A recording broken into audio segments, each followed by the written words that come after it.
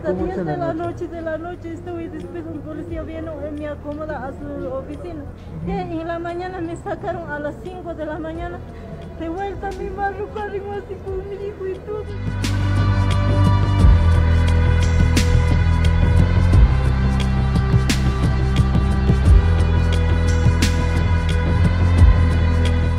Nunca usted no. Nada, jamás no le agredió a él por mentiras. Violento es. Antecedentes penales había tenido. Del penal ya había salido. Él quiere regresarse conmigo. Yo no puedo regresar. Usted no quiere. No, por eso me con celos. Me amenaza con matarme. Yo tengo medidas de protección con él. Cinco medidas de protección.